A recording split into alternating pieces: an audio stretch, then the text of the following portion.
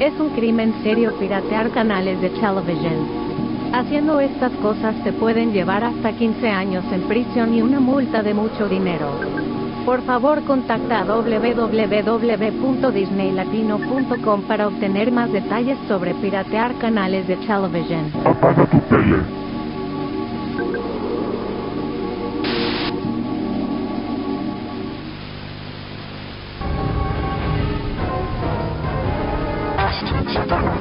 Favor no estés sordo ni ciego. Te estábamos diciendo que apagues tu tele y aún no lo hiciste. Por favor te lo repito.